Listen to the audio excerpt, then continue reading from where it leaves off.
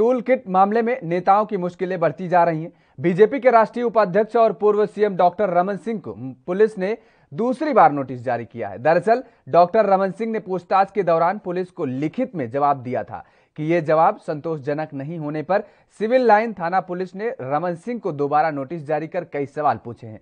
जानकारी के मुताबिक पूर्व सीएम ने ईमेल के माध्यम से समय मांगा है। और इससे पहले 21 मई को सिविल लाइन ने रमन सिंह को नोटिस जारी किया था।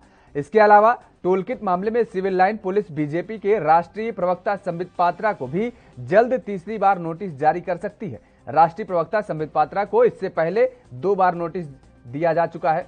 और बता दें कि टोलकिट मामले में कांग्रेस की शिकायत के बाद पुलिस ने संबित पात्रा और डॉक्टर रमन सिंह समेत अन्य के खिलाफ नामजद केस दर्ज किया है।